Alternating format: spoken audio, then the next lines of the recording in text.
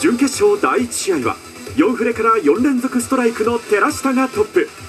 それを久保田岩見が追う展開で第8フレーム。左側もこのボールにしました。ねはい取りました。ああ岩見がようやくここでダブルが来ました。はい、ボールチェンジをしてなるほど。あの、はい。ちゃんと自分で切り替えてるところがこう成長したところですね。はあはあはあ。さあ久保田が今日は堂々の1回戦勝ち上がり。準決勝を待っていたのは寺下。その寺下に。うわー負けじと来た来た来た来た。これは面白いあのやっぱり10番ピンが残るっていうのは薄いか食い込みが弱いかなんでねあ。厚めいっぱいいっぱい狙ってきましたねあ。初めで。はい。おー。寺下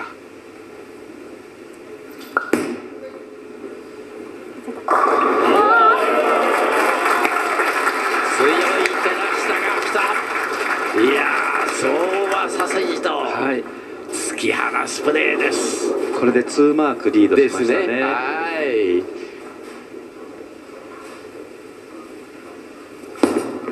さあ岩見の方は？ここに来て岩見らしい投球になってきましたか？そうですね。ボールを変えたのが本当にうまくなるほど。はい、はまってますね、えさあここははい。必ずストライクが欲しいところです。ーはい絶対に。さあどうか？負けじと久保田彩香ここ照らしたストライクが来ないと、とあの2マーク差が1マーク差になってはいはい。なおかつ9フレームが久保田がストライクっていう形になるんでですね。はいはい点フレで追いつくチャンスを与えます。ですからこれは大変な照らしたとしてはもう絶対ストライクを。ですねはい、出して勝負を決めたいところですよね。さあ照らした。9フレ。うわい大きい大きい。うわいやーこの、えー10番ピンが倒れたのは大きかったですね、ねよかったよかった照らしたが7番ピンだけ。ん？ああとさてこれで矢野さん、はい。これでえーはい。10フレ勝負なんですけれでどもすが。10フレームの1投目にはい。久保田がストライクを持ってきた時点で並びます。はい。ははい、その後の10フレ2投目3投目の勝負になるという形ですね。なるほど。今下も同じですからね。7ピンでね。さあ岩見あれあれあれあれ。わあ今日は立ち上がり苦しんだんですがその後この終盤に入ってターキーまで来たんですが。そうですうね残念ながら。うんもう2人が走っちゃいましたからね。本当ですね。さあ久保田大事な大事な10フレーム1投目です。投目そうですか、はい。ここで追いつくかどうかです。ここで。まず来ると今日は強い久保田が。あこの表情そのまま痛い。痛い痛い。あそうですね。うーん。これでもう照らしたのミスマッチという形になっちゃいましたね。ね。今ちょっとやっぱりこう気持ちが入りすぎたのかスピードがちょっと上がったような感じでしたね。あスピードが。結局これで岩見はオープンになりました。176ピンで終わっています。そして久保田がこれ取ってあのストライクを持ってきても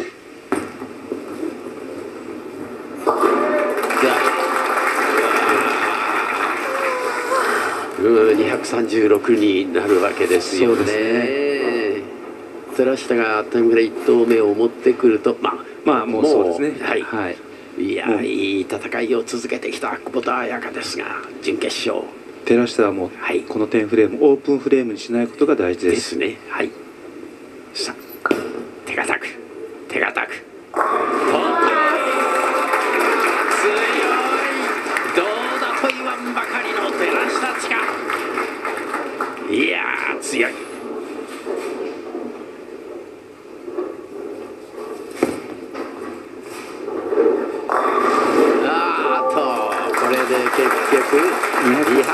235ピンですね。はい、いやいいボーリングしたんですけれどもね本当ですね。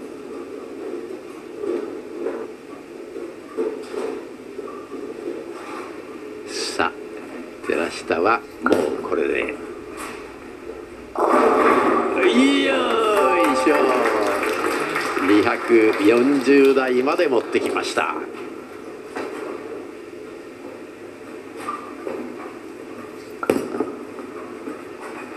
2人の戦いは247ピン寺下千佳決勝進出を決めています。皆さん、ありがとうございました。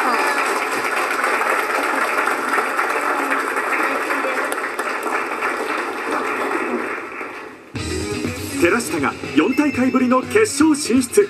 ワイルドカードからの優勝を目指す。1回戦目は勝ててると思うので準決勝で本当にここ最近ずーっと勝ててないので過去の動画をめっちゃ見てまた研究し直していきたいと思います。自分の中では精一杯やりきったつもりだったんですけど10番ピンを飛ばしきれてなかったので10番ピンを飛ばすために何かもっと投球で調整できたんじゃないかなと思ってます。